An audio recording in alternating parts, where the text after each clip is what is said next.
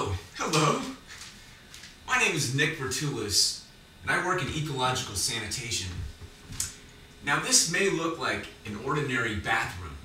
However, what I'm sitting on is a Swedish urine diverting flush composting toilet. If you take a look at it, what you have here is a separate chamber for the urine. When it leaves this toilet, it is combined with gray water from the sink and is recycled in the landscape. The feces go down to a giant box in the basement that is filled with worms, and the worms eat the feces, and the flush water is then pumped out to the backyard where we have a biobog, which consists of plants that evapotranspire 100% of the flush water. So what we have here is a ecological sanitation human nutrient recycling system. One of the nice features about this toilet is it has a dual flush component. I press the button just a little bit, and I can flush just for urine. I press the button more, and I get a full flush for feces.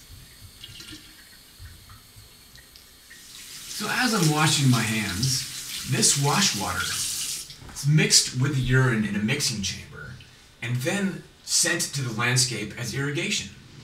The interesting thing about urine is that it's chock full of nitrogen, phosphorus, potassium, and trace minerals, all necessary nutrients for our friends in the plant world, including this bamboo.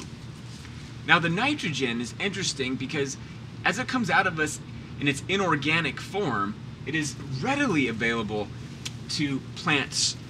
However, you can burn a plant with too much urine nitrogen.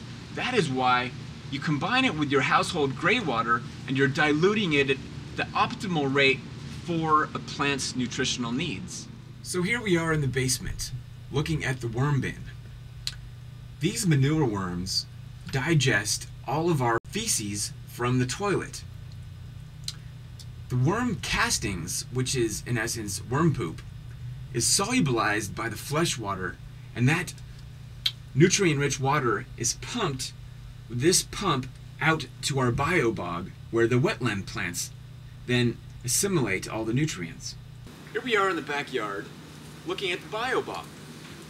Now in this simple natural technology, plants are sending oxygen into the gravel substrate, which creates the microbial ecosystem which degrades any pathogens.